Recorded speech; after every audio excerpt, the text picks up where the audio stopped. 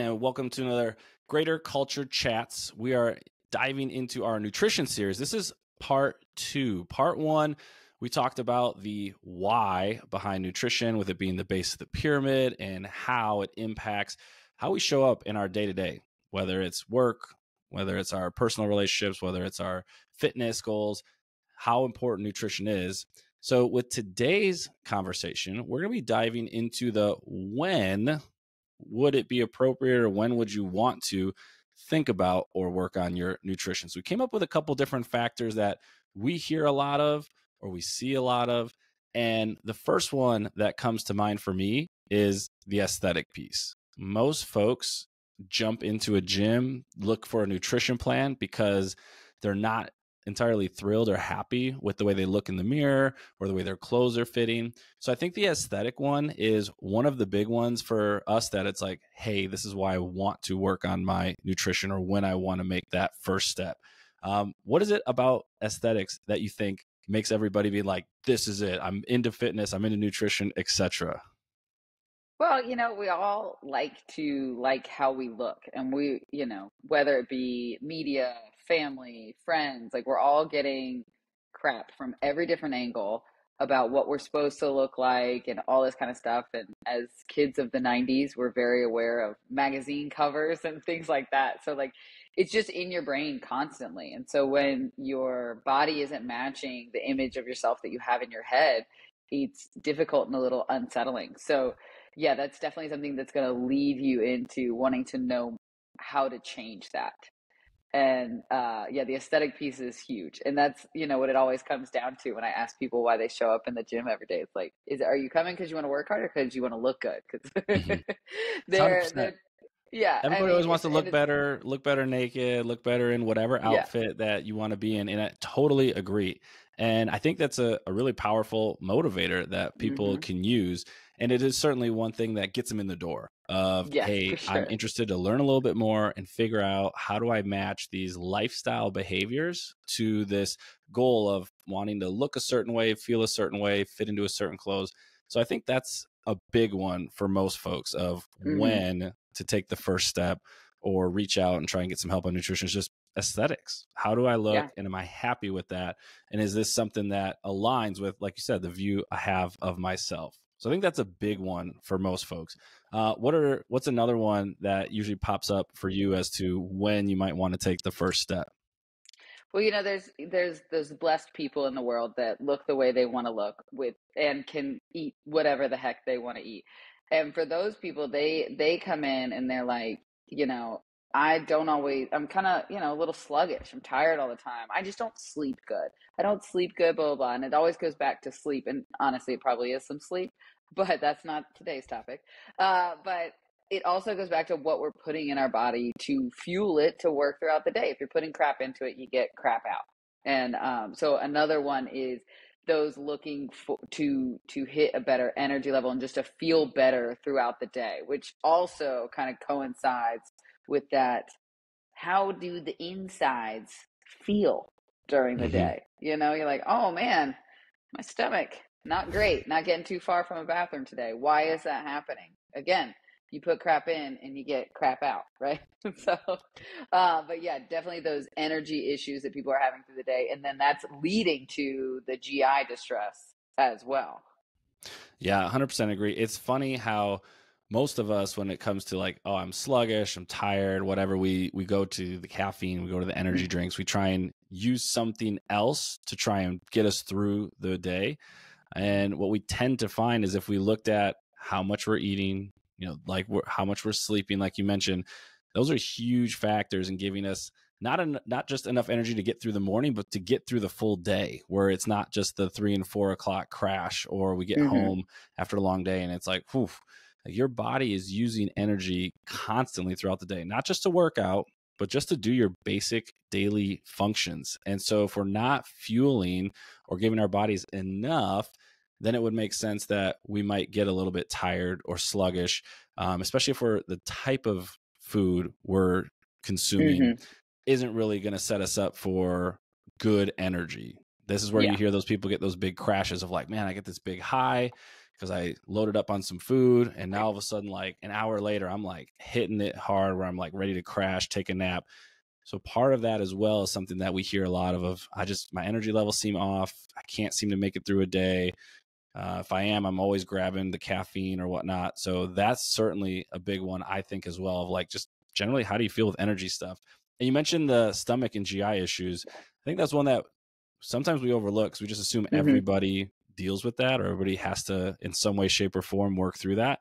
Mm-hmm. That can mm-hmm. be a kind of a sneaky one. That can be an indication that maybe there's something going on that we might want to change or do a little bit different. And that's something you've seen. Oh yeah, for sure. Like you know, extra stress, of course, will always mess with that GI too. But that nutrition, I mean, maybe gluten isn't your thing, and it doesn't, you know, have to be for forever. But maybe we just try not or avoid it a little bit and see how we feel. Or, or as we age, you know, we might hate it, but the the tomato and the sauce and the spaghetti is not sitting as well as it used to and then that's making us feel bad the next day and then we don't work out because we feel bad and it's just like a mm-hmm. whole terrible cycle. So there's these little things that we can tweak in our diet that then help us not just look better, but feel better as well.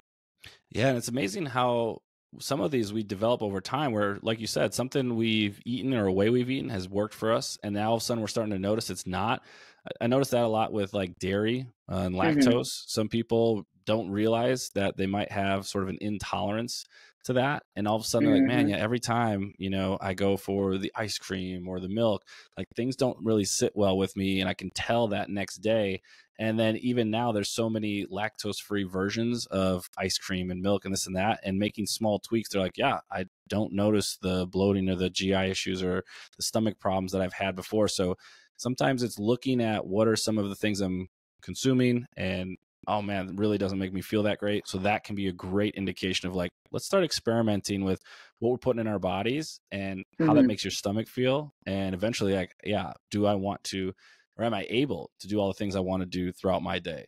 So I think yeah. that's a big one. And the other that, one that comes to mind for me is this idea of uh, of performance of like yeah, and all of these lead up to that too. Exactly.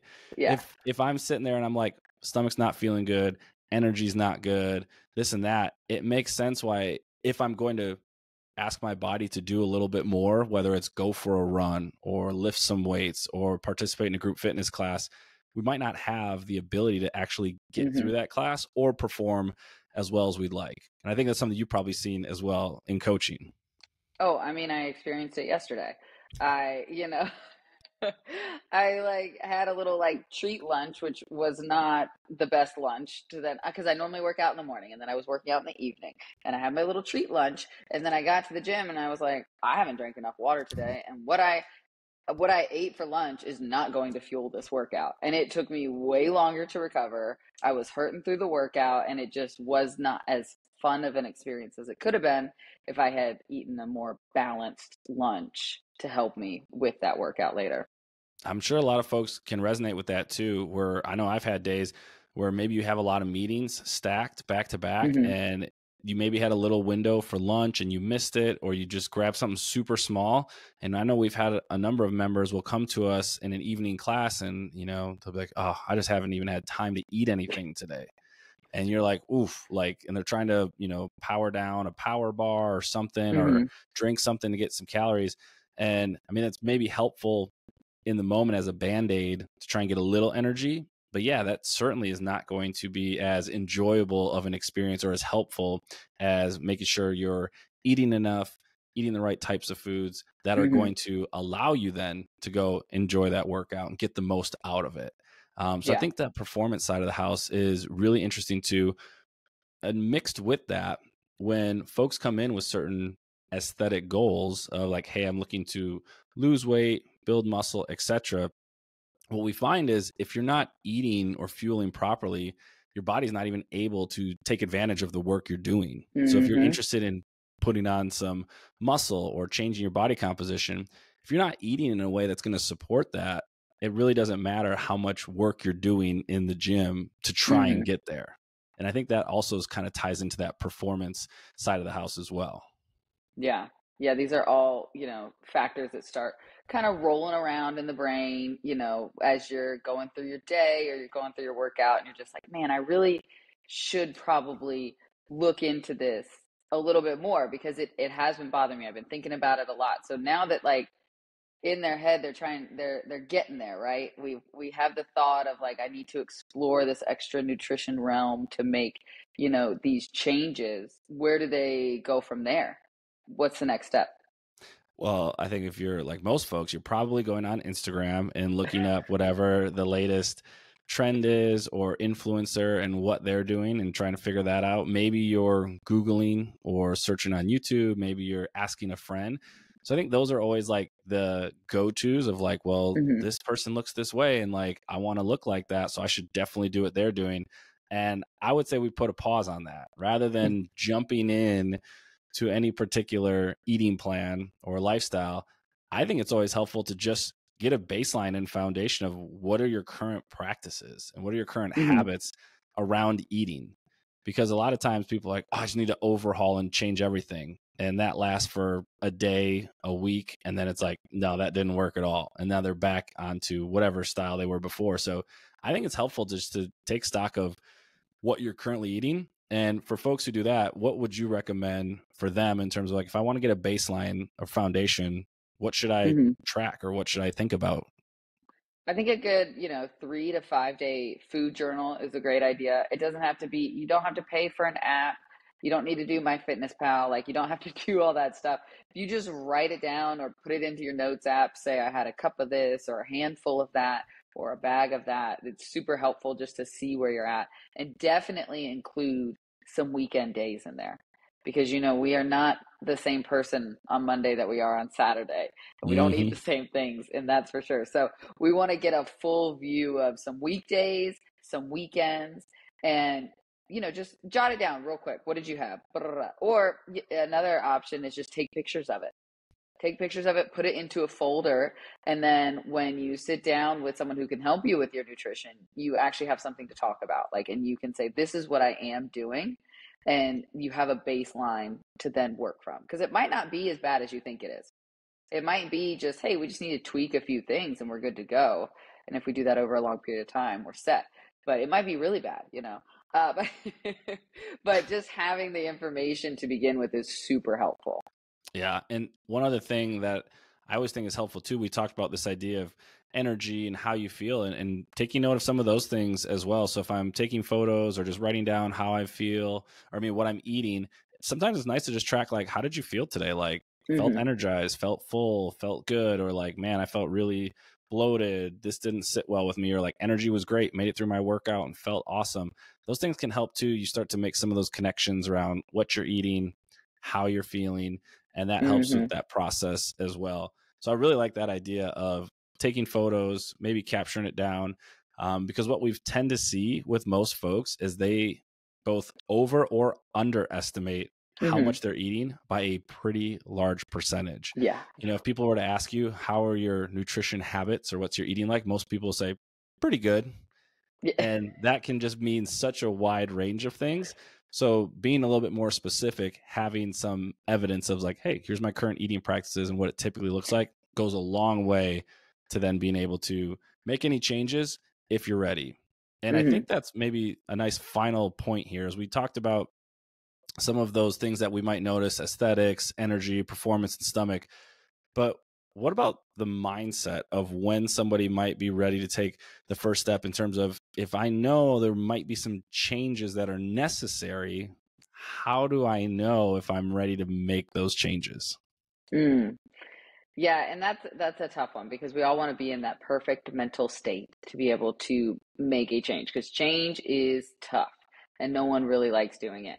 And so having, you know, in the back of the head like, well, I'm just not ready. I don't have enough time. It's going to stress me out, all these kind of things. If if you are at a point where you are looking for more from yourself and you want to focus on yourself, not in a selfish way, but just in general in a healthy way, um, it's definitely a good time to make that change. If you have been in the gym for a while, you're making and you're really consistent, right? you're making that decision to go to the gym most days of the week and work hard, you've got a good base to be able to make a change. You're already doing something that's semi difficult that a lot of people don't do. So you can probably go ahead and take it a step further. And the other thing is you you you know if you do have a partner or roommate or kids in the house, just making them make the change with you is also very helpful. mm-hmm. to have that group around you is is pretty great as well because having that support system is very important. Yeah, totally agree. It, there's never the perfect time. There's never everything falls into place. I'm now stress free and et cetera, et cetera. Life is always going to happen. So mm. if you're like, when should I take make the first step? It's probably now um, mm-hmm. from just about everybody. There's something that we can do to improve the way we're eating, which will improve the way we feel, our energy, the way we show up, our aesthetics. So a lot of those factors can fall into place once we start the process of understanding what we're eating and then maybe making some changes that align with our lifestyle or what we're striving towards. So mm-hmm. I think that's a great place to call it for part two, which is the when do you want to take the first step? And even giving folks that that opportunity to start to put some pen to paper or take some mm-hmm. photos of what their current eating habits look like because in the next upcoming uh, parts of the series we're going to start diving into all right i do want to do nutrition in terms of thinking about what i'm eating. I've done a little bit of logging. What's next because that's mm-hmm. usually what the question is of what should I do and how should I eat. So we're excited to dive in to those in the upcoming parts of our series. So yep. for Chelsea and Brad, this is part two of our nutrition series. When to take that first step to improve your nutrition and your lifestyle. We look forward to catching you on the next episode of our series. Uh, for both of us, have a great rest of your day. Bye.